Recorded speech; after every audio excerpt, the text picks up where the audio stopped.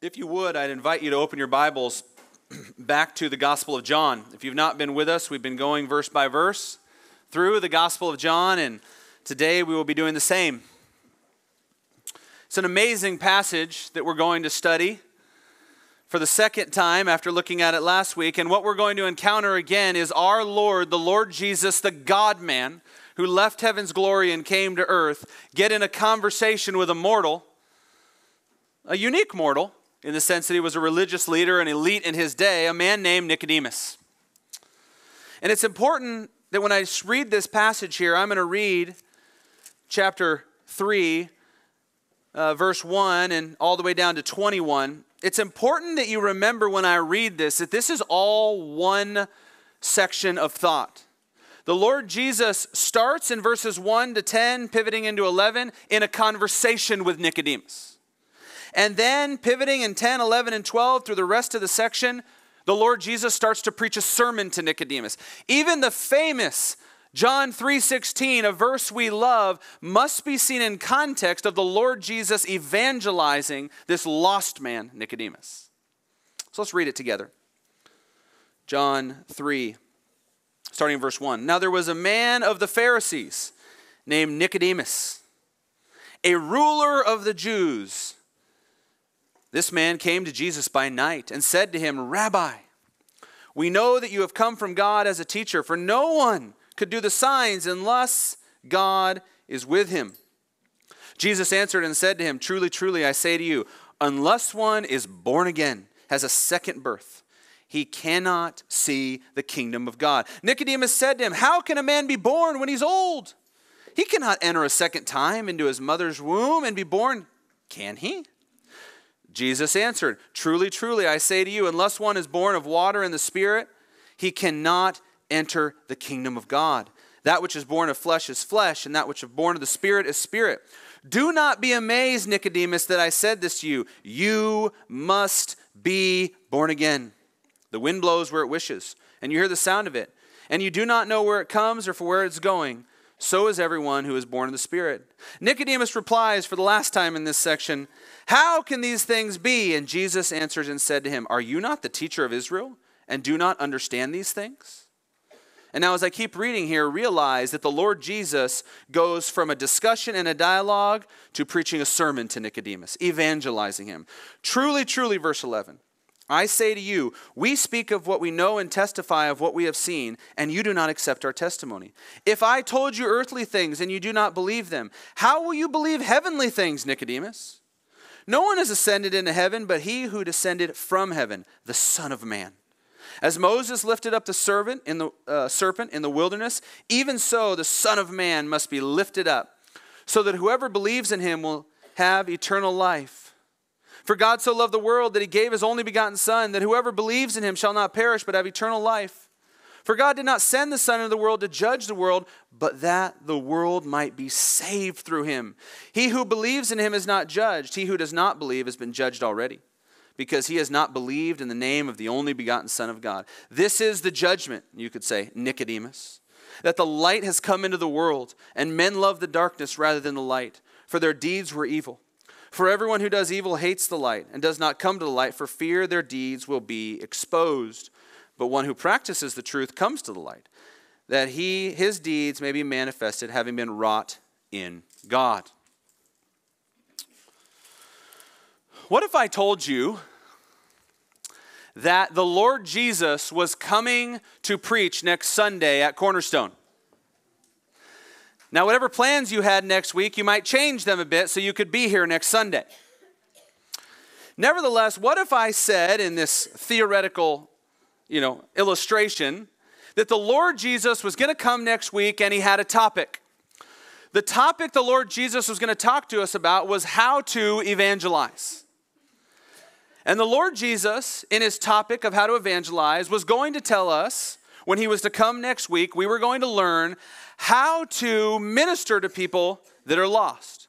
Not just any kind of person that's lost, but a person that's actually self deceived, a superficial follower, someone who had some um, some response, some affiliation, some following of Jesus, but they weren't genuine. What if we learned today that next week Jesus was going to come and teach us how to evangelize to the religious unsaved, the Bible reading unregenerate, the people that think they are found but they're lost? We would say, wow, that would be a good seminar. And what if the Lord Jesus, if he was to come next week, and to teach to us, we were to hear that the topic of his preaching was going to be about himself. You see, we're told in the scriptures that we're not to preach ourselves. 2 Corinthians 4. Paul says, We do not preach ourselves. But there is one that's allowed to preach himself. That is the Lord Jesus Christ. In fact, it's entirely appropriate for the Lord Jesus to preach sermons about himself. Because in that, he's preaching us the very revelation and mind of God. Well, if that were to happen, which it's not going to happen, but if it were to happen, we might argue that the passage and the place and the exposition and where we would go in Scripture is John 3. That we would come to the place where we watch our Lord, the God man, think of it, God Himself in the flesh, evangelizing a lost religious man, a Bible reading, PhD Bible scholar headed for the judgment a man named Nicodemus. You see, the entire point of John 3, when we look at it, is included by John as an illustration for us of how chapter 2 ends. Just look at it. Chapter 2, if you remember, has the Lord Jesus Christ doing these amazing miracles the wedding at Cana, water to wine, and then we watched a couple weeks ago where the Lord Jesus, with a rope in hand, cleared the temple of 20,000 people with pure supernatural strength, and it's emptied. And all that stands there is the Lord and his disciples. Only the God man could do that. Well, word got out about that. People were watching that, they were witnesses of that. And of those people that witnessed that, there was some that were true followers and said, I want to follow the Lord. And they repented of their sin and they put their faith in Christ. Others were the disciples that had already trusted in him. And then there was another group. There was a group that started to attaching themselves to him as a teacher. They attached them him as someone they could learn from, that seemed to know the word of God, one that could do miracles sent from God. But they were superficial. They were spurious in their belief. They were not genuine. They were false converts. They came for all the wrong reasons. Well, they're mentioned in chapter 2. Look at the end of chapter 2. Verse 23. Now, when he was in Jerusalem at the Passover during the feast, many believed in his name. Note that. Many said, Oh, we're going to follow him. Observing his signs he was doing. But Jesus, on his part, was not entrusting himself to them. Did you catch that? There was a group that started following after Jesus that said, We're going to believe in you and follow after you, and seems like a good thing you got going on, and you're teaching us some Bible. And Jesus says, They're not genuine. I'm not going to entrust myself to them. Notice it. Why? Verse 24, the middle of it. For he knew all men. He knew the heart, and he knew they were fakes. And because he did not need anyone to testify concerning man, for he knew himself what was in man. So we're left with this reality that Jesus is starting to do miracles. He's come on the scene in Jerusalem. Millions of Jews are there, and he's claiming he's the Messiah. John the Baptist is claiming he's the Messiah. He's the Lamb of God that takes away the sin of the world, and he's doing miracles, and some are genuine, and then there's a group of false, superficial seekers that start following him. And one of those is a man named Nicodemus. You see, chapter 3 is inserted here, even if you're looking at the grammar of this in the original, with a, with a connective tissue and a conjunction here, saying you could read it like this There were superficial, false followers of Jesus, and let me document one of those to you. One of them was a Pharisee, a man named Nicodemus, a ruler of the Jews. This was no ordinary superficial follower. You remember, He's a ruler. He's a leader. He's an elite. Put in your mind a person that had spent their whole life studying the Old Testament. Think of a Bible scholar with a PhD, knowledge of the Word, insight into the Old Testament. And verse 10 tells us, notice it, he's the teacher of Israel. Look at verse 10. Are you not the teacher of Israel? Literally, definite article. Aren't you not Nicodemus, the one that they look to to instruct them on the law? The one that they look to to teach them the Old Testament? Are you not the one that knows the scriptures and teaches in temple week after week? And we know he's an older man. Because he says in the section here, can an old man go back into his mother's womb and be reborn? So, what we have before us is a picture of the Lord Jesus Christ in a conversation with a false follower, and we know this false follower still isn't genuine, even because if you look at verse 2, he comes by night. He still wants his reputation, he still wants his significance, he still wants his influence in the synagogue, but he wants to inquire because he believes Jesus is from God. He believes he's kind of a peer of Jesus as a teacher. He believes Jesus has done some miracles, but he certainly hasn't trusted him as the Messiah and his Lord. And what we saw last time, if you remember, in verses 1 to 10, is we encountered the reality that Jesus told this man that thought he was very much right with God, You're lost and you need a second birth. You need to be born again. What does that mean? It means that he needed a new heart. He needed spiritual heart transplant surgery. He needed God to act from heaven to take out his heart of stone and give him a heart of flesh. His first birth, first birth was enough to secure his judgment. His second birth would be needed by God for him to go to the kingdom. So we saw that last week. They encountered and they talked with each other back and forth and back and forth. And if you look at verses 9 and 10, Nicodemus is exasperated by the time we get there. How can these things be? Verse 9. What does he mean? How could it be, Jesus? I've gone my whole life thinking I was right with God. I've studied the Old Testament. I've taught the Bible. I go to temple. I pray. I do all the moral things. I'm a religious leader. How could it be that I'm lost? How could it be? And Jesus said to him, verse 10, Are you not a teacher of Israel and you don't get this?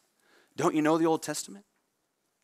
And then if you notice, verse 11, Jesus continues all the way to 21, and it goes from a conversation to a sermon.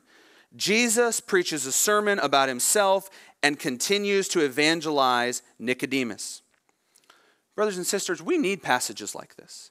We need passages where we watch our Lord, by the way, the most loving person that ever lived, talk to a man about his sin. Talk to a man about his rebellion. Talk to a man about his self deception. Take a man to the place where he sees no ability to save himself. And then also to see the Lord Jesus turn the corner and offer him the good news of himself. This right here, beloved, is for us in a, a way for us to witness our Lord evangelize a self deceived man. And so I want to think about this next section here by the way of Jesus preaching an evangelistic sermon. Because when we get to verses 10, 11, and 12 and following, Jesus goes from dialogue, as I said, to preaching. So if you're taking notes, here's going to be our outline for this week and the coming weeks, maybe two more, or maybe one. And here's what it'll be Jesus preaches a three point evangelistic sermon to Nicodemus. Jesus preaches a three point evangelistic sermon to Nicodemus. Now, it's not that he hasn't been evangelizing him already. The first 10 verses, it was a dialogue on evangelism. And now Jesus is about to preach to him and evangelize him. And I don't know about you, but I love watching our Lord interact with lost people. I love watching our Lord encounter people that need to know Him because my life, like yours, is full of people that I want to know the Savior. I've got lost people in my life that are outright rejectors of Christ. I want them to know the power of the gospel. I've got people in my life just like you that have some affiliation and hang around the church a little bit, and I'm concerned where they're at spiritually. I've also got people in my life that are Nicodemuses, that are 100% convinced they're right with God, but they're lost because their life shows they have no effects of the new birth. I want to know how to evangelize them, minister them. I want to see how our Lord preaches an evangelistic sermon to Nicodemus. So that's going to be our outline. Three point evangelistic sermon to Nicodemus. Now, like every good sermon, there has to be an intro, right? And so there's an intro to this three point evangelistic sermon, and I want to show you that intro. And if you're taking notes to this three point evangelistic sermon, here's your intro point that we're going to call it. The intro is in verses 10 to 12 to this sermon, and we're just going to call it the you should have known rebuke. The you should have known rebuke. Sorry for my bad English, it fits the sermon point. The you should have known rebuke is in 10 to 12. So let's read it together. Notice Jesus begins his sermon, his three point sermon, with this intro. Jesus answered Nicodemus in verse 10 and said, Are you not the teacher of Israel, and you do not understand these things? What is he saying? You don't understand the basics of the new birth, Nicodemus? You don't understand what it means to be born again? How could you not know that? Now, you and I may think for a second if someone asked me the question, where would I teach about the new birth, being born again, the need to be born a second time from the Old Testament, you may not know exactly where to go. You may need some help, someone telling me, how do I learn about the rebirth, regeneration, the new birth in the Old Testament? Well, that's fair for us in our Gentile culture in some ways. It's fair for us, those that may not be as schooled in the Old Testament. We're New Covenant Christians, and so we tend to know a lot of our New Testament. It's totally unacceptable for a man that claimed and was known as the religious elite teacher of the day. This is the basics for him. This is what he should have known for no, with no problem. This is the bottom level, low hanging fruit, bottom shelf stuff that you need a new heart, you need a heart transplant, you need to be born again. How could you miss that, Nicodemus? How could you not see that? And what I love about this is in this you should have known rebuke, Jesus is pressing in upon Nicodemus's need to see his rebellion, his need to see his sin, his need to see his inability, and specifically his need to see that he's self deceived. He is not right with God. The things he thinks he knows, he does not. And so last time, I mentioned to you there's a couple passages that are probably in view that Jesus had in his mind when he told him that. One would certainly be Ezekiel chapter 36, right? We talked about it last time, speaking of the new heart. But also within that, Jesus would not only have been talking about the new heart in Ezekiel 36, Jesus also would have had on his mind Psalm 87. And I want you to see it. I want you to lay eyes on Psalm 87. Such a great passage. So when we see our Lord preaching his sermon here in his intro, the you should have known intro, he's drawing on Ezekiel 36 for sure, but he's also drawing on Psalm 87. And I want you to see this because if you were ever to have a little compassion for Nicodemus and think that Jesus was too hard on him, you need to see that Nicodemus was a scholar in the Old Testament. He would have known the Psalms, he would have taught them, and he missed the basics of the rebirth here. So notice Psalm 87. Notice what says, verse 1 His foundation is in the holy mountains. The Lord loves the gates of Zion more than all other dwelling places of Jacob. Glorious things are spoken of you, O city of God. So notice, Jesus is speaking of a holy mountain, a holy place, a place called Zion, a glorious place. He's speaking of heaven, the holy mountain. He's speaking of the place where God will dwell. And now notice this language of the first birth and the second birth. Here's where you get regeneration in the new birth in the Old Testament. I shall mention Rahab and Babylon among those who know me. Did you catch that? Gentiles. He's mentioning Gentiles, non Jews, who have come to know the one true God and will be, notice verse 3, in the city of God. Notice, he says there, I shall mention Rahab and Babylon among those who know me, beyond Philistia and Tyre, with Ethiopia. And then notice this this one was born there. He documents their first birth. He documents the first place they were born. That's like you or I saying, Where are you from? or Where were you born? And we say, I'm from Houston. I was born there. I'm from Florida. I was born there. Your first birth. These Gentiles, they're documenting the first place they were born. Okay? But notice, getting to heaven and having access to God and going to the holy city and being with the Lord, it requires you being born not just in your first birthplace, birthplace. You must be born from Zion. You must be born from above. You must have a new heart given to you from heaven. Notice. This one was born there, but of Zion, verse 5. Notice it.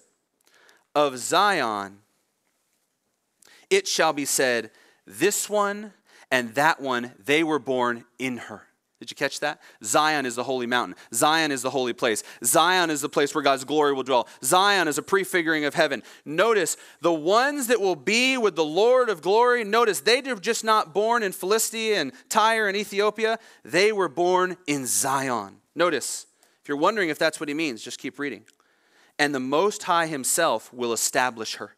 He will establish them, establish her, and establish their salvation. And then look at verse 6.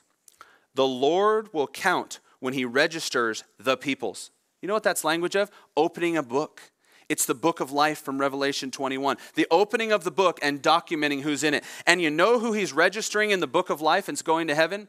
Not just those with a first birth, but those that have a second birth are written in the book. Nicodemus should have known this text.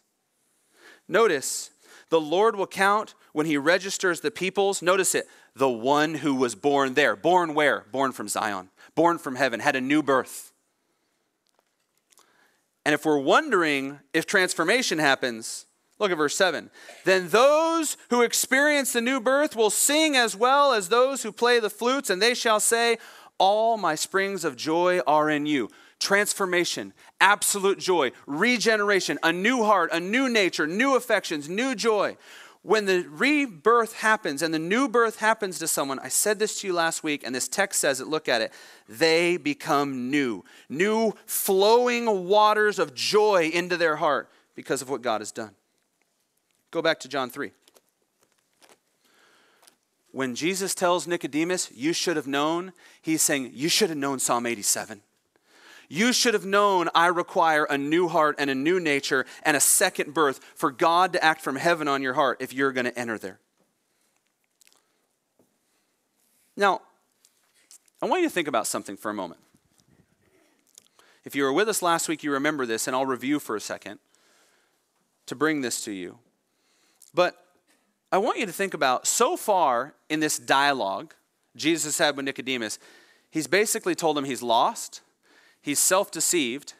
He has total inability. He can't save himself. Everything he's known his whole life is a sham. He's headed for the judgment. He does not know God. He's living in rejection of God. He's counting uh, his merits and his genetics as a Jew and his accomplishments as a Bible scholar as something acceptable to God. And Jesus says that's all trash to the Lord because you don't have the second birth. And then on top of that, notice back in the text in this you should have known rebuke, look at what Jesus says to him. This is fascinating. Jesus says in verse 11, Truly, truly, I say to you, we speak of things of what we know and testify of what we have seen. And then look at the end of verse 11. And you do not accept our testimony. Stop there. You do not accept our testimony. That's language of you will not receive it. You reject it. You're resisting the revelation of God. What revelation? That you must be born again, that you must have a new heart. And if you're wondering, look at the text, it's in the plural. Truly, truly, verse 11, I'm looking at. I say to you, we speak of what we know and testify, and what we have seen, and you do not accept our testimony. You won't receive the testimony of me and others. Who's the others Jesus is talking about? Well, it's probably his disciples with him that are there that are testifying about the need for the rebirth and that he's the Lamb of God that takes away the sin of the world. And we don't have to invent anything. The other person he's probably speaking about is John the Baptist. Remember, up to this point, John the Baptist has been on the scene and is famous among the Jews. He is well known. Nicodemus, as a ruler of the Jews, he would have heard about, Nicodem- about John the Baptist preaching. And so Jesus is saying, Nicodemus, you religious, elite person who sits there in pretense and thinks you're right with me, you won't accept my words. You won't accept the disciples. You won't accept John the Baptist. You sit in a place of absolute resistance. You will not accept our testimony. just as a side note, there's lots of ways that people can reject the truth and not accept the testimony, but at the center of all of it is a rejection of Scripture. It may be that people reject it by redefining sin as a mental illness. It may be people reject the scripture by saying the creation account in Genesis isn't real. It may be people reject the scripture by saying Jesus can be my Savior, but he doesn't have to be my Lord. I can still live for myself. It may be that people reject that the scripture is inerrant and without error. It may be fill in the blank, but at the, at the center of every person who will not bow the knee to God is a rejection of the authority of Scripture. And Nicodemus is being told by the Lord, your whole life you've studied the Bible, and you still sit in resistance to it.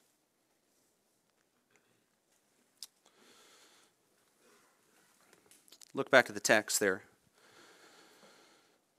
He says in verse 12, now notice he goes on Nicodemus, if I told you earthly things and you do not believe them, how will you believe me if I tell you heavenly things. What is he saying there? Earthly does not mean things that aren't spiritual. He's saying, Nicodemus, I'm teaching you about the rebirth that you should have known. These are things right here and now that are earthly truths that you should accept. You won't even accept those, Nicodemus. How do you expect me to take you to the glories of heaven? How do you expect me to help you understand my relationship with the Father in John 17? How do you help how can I help you understand the eternal nature of me as fully God and fully man in front of you? I can't give you heavenly truths because you're not even willing to accept the basics you should have known. Nicodemus is in a bad spot, is he not? He's not doing well. I mean, just imagine, and maybe you can, like I could, imagine thinking your whole life that, that you were right with God your whole life, you have some affiliation with God. Your whole life, you kind of studied the Bible, you went to church, you read, and then to be told in a single conversation everything you think you've known and everything you've done because you've not had a new heart and you've not been born again and you've not experienced a new birth, all of that is just one illustration after another of your resistance to God.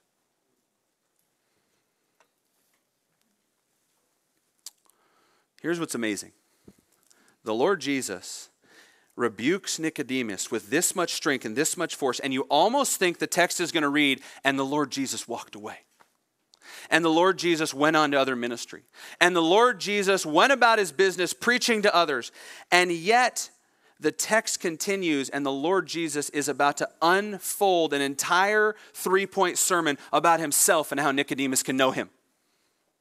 And the question we may ask is why would the Lord Jesus hang in there with someone that's so recalcitrant, resistant, proud, self deceived? Why would Jesus stay in there with him when he sits in a place of resistance? I'll tell you why mercy, grace, patience, kindness. Here's what the Lord knows the Lord knows that the seeds of the truth that he's planting in Nicodemus's heart will be the seeds of the truth, and the Bible's described as a seed, right? The Word of God, that will one day bring spiritual life and rebirth to Nicodemus. You remember, we see Nicodemus in John 7, and he's softening. And by, by John 19, he's a worshiper. So, what we're witnessing here, my dear friends, is we are witnessing the Lord Jesus Christ in all his glory, preaching a message to someone that he knows is going to walk away, but Jesus knows that someday I'm going to take those seeds that I'm planting in his heart and I'm going to make them live. And I thought about that. What a lesson for us in evangelism, right? What a lesson for us. Those of you that are ministering to your kids that they're growing up in your home and you're just throwing seeds all you can into their heart and they may sit in a spot of resistance. Those of you that have ministered and evangelized to people and they've walked away and ran away from the truth, but you know the seeds have gone into their heart.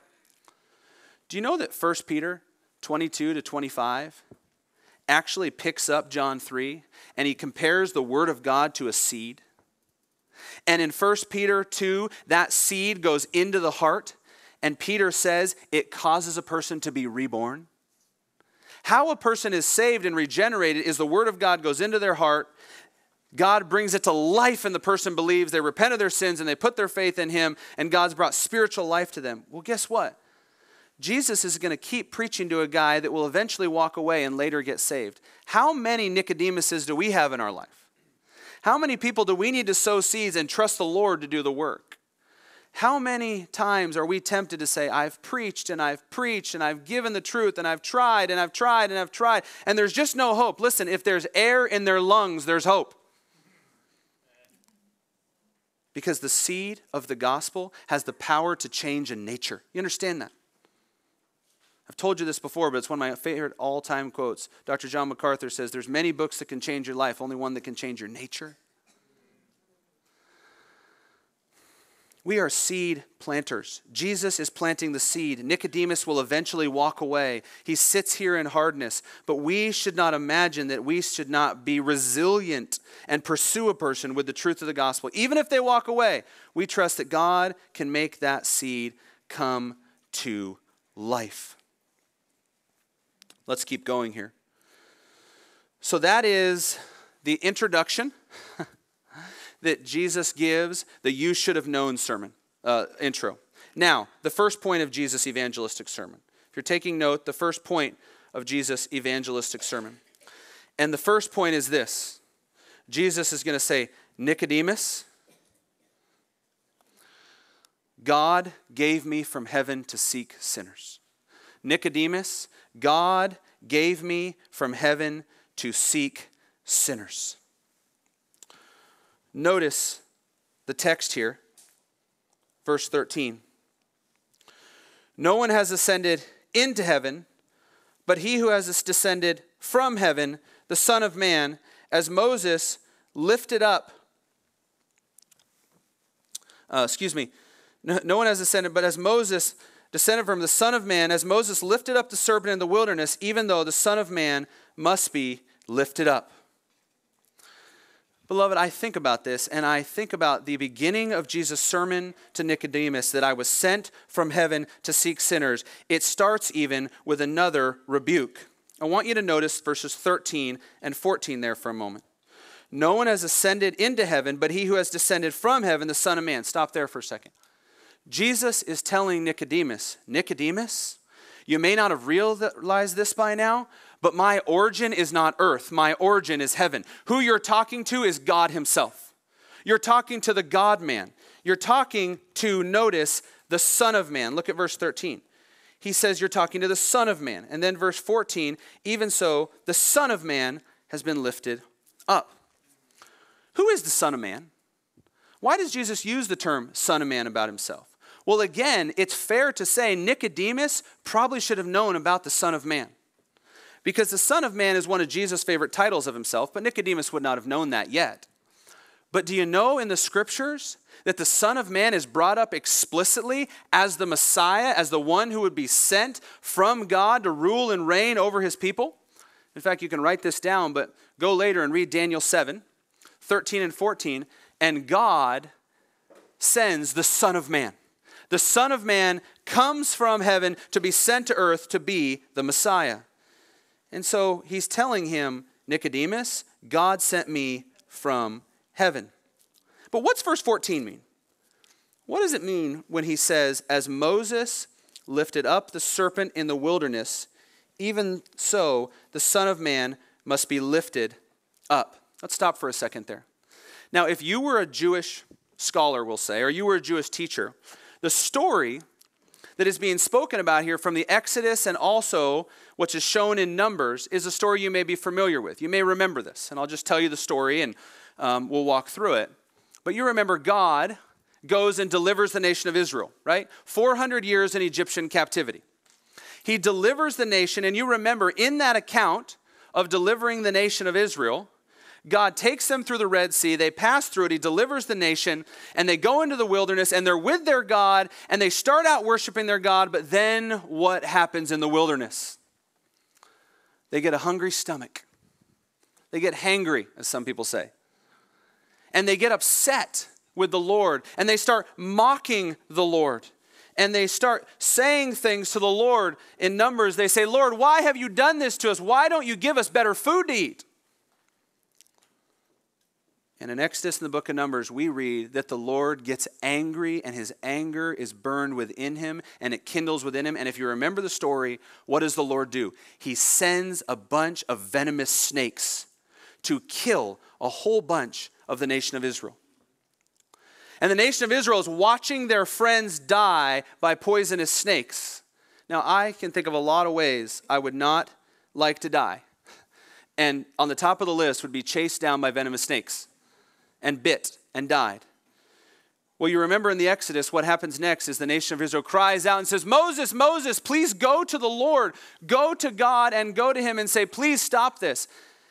And the scriptures tell us that in that moment there was people suffering from snake bite and they needed to be delivered. And so God says, I'll tell you what, Moses, I am going to be merciful to a rebellious, arrogant, proud group of people that are grumbling against me. And by the way, the key in those texts in Numbers and Exodus, the key there is that people were grumbling against God. Oh, what a great sin grumbling is before God. It's unbelief.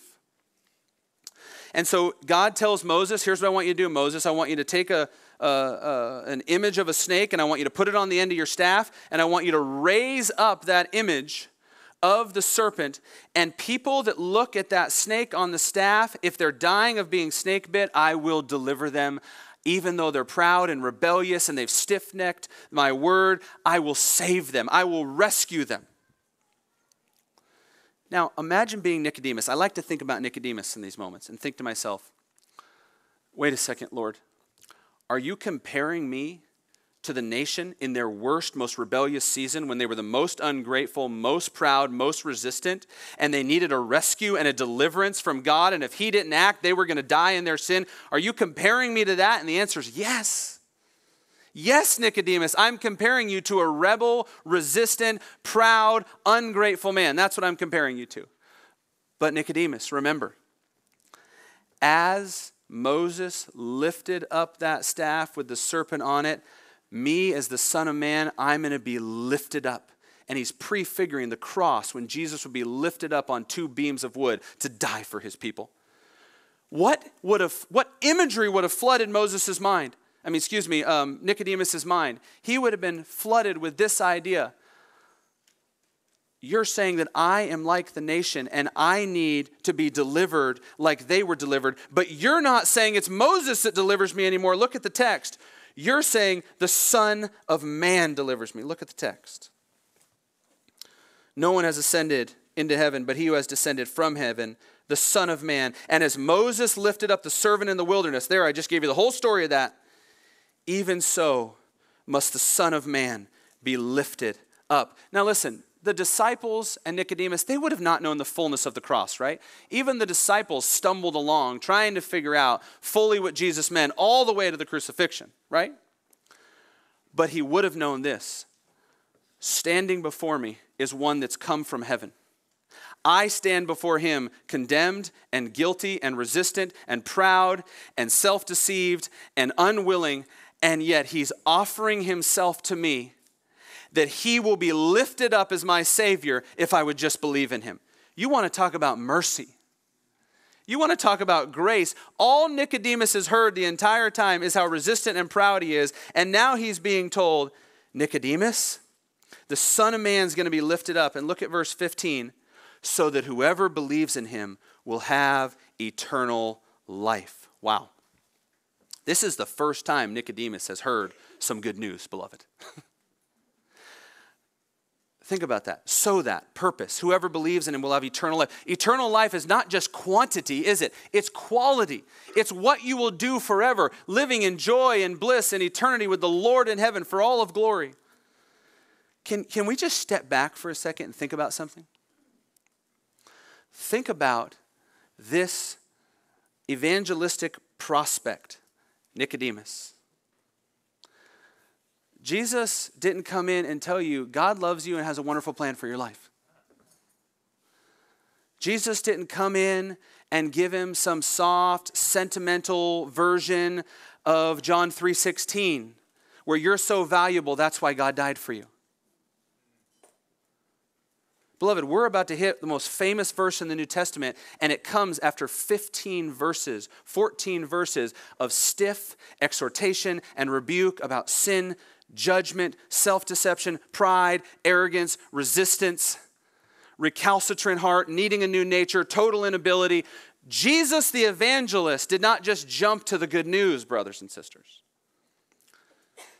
In fact, I look at this and I see verse 16 and it explodes off the page for me. Not because it's the classic verse 16, for God so loved the world that he gave his only begotten Son, whoever believes in him shall not perish but have everlasting life. Of course, it jumps off the page just because it's a verse by itself.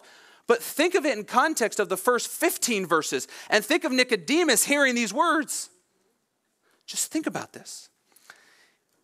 He's been notified for the first time in his life he's a self deceived, lost man. He's proud, he's arrogant, he's resistant, he's ungodly, and yet he's, a, he's really a false teacher. He's a deceiver of others in the way he teaches. All he's known is that he's like the nation of Israel, rebellious and ungodly. And then he hears this Nicodemus, even though that's true of you, and everything I've said to you is true of you, my Father, God, because he's a loving God, sent me so people like you could be saved. What makes verse 16 explode off the page is the first 15 verses. I mean, sometimes we need to rescue sermons from being single verse sermons. John 3:16 alone is not a full picture of the gospel message. Verses 1 to 15 teaches about sin, judgment, rebellion, the need for the new birth, total inability, our pride, our arrogance, our resistance. And then what explodes on the scene is not verse 16, Nicodemus, you're so wonderful and valuable that God loved you and he sent his son for you. It's no, Nicodemus, it's not your merit or value that made God send the Son. It's because God is love, He sent me. Look at the text. You could translate 16 this way For so loved God the world that He gave His only begotten Son. And whoever, Nicodemus, that includes you, believes on Him, falls upon Him, repents of their sin, and trusts Him as their Savior, they shall not perish. Perish, perdition, go to hell. But they will have eternal life.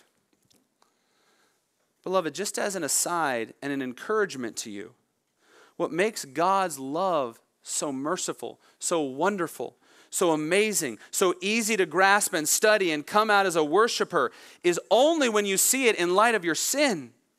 It's only when we see it in light of our rebellion, it's only when we see it in light of our resistance. I mean, just this text to think about Nicodemus sitting there and hearing, Nicodemus, God in his love sent me because he loves you. And then look at what the text says that whoever or who might believes in him will not go to hell but have eternal life. And then 17 gives the purpose Jesus was sent. So if you wanted to put this, you could say 16 is the reason he was sent, the love of God, and 17 is the purpose he was sent. For God did not send the Son into the world to judge the world, but that the world might be saved through him. Now stop for a second and think about that. All Nicodemus has been hearing is that he's judged. All Nicodemus has been hearing is that he's guilty and he's going to stand before God naked and alone and ashamed. And Jesus says, While that's true of you, don't forget that my purpose was to come so that you wouldn't be judged, so that you would have eternal life, so that your sins would be forgiven, so that you would know the reconciliation you can have with my Father. What makes John 3:16 such a beautiful, amazing verse and verse 17 so lovely to look at is it comes in the backdrop of 1 to 15, which is all about our sin and our inability and God's judgment and our need for a savior.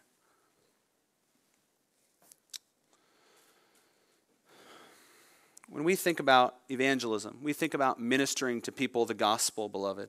We think about Jesus the evangelist. Let me tell you a story. Years ago, I was at a, a, uh, a conference with a bunch of young people, uh, probably five, seven, ten thousand, I don't know, college students.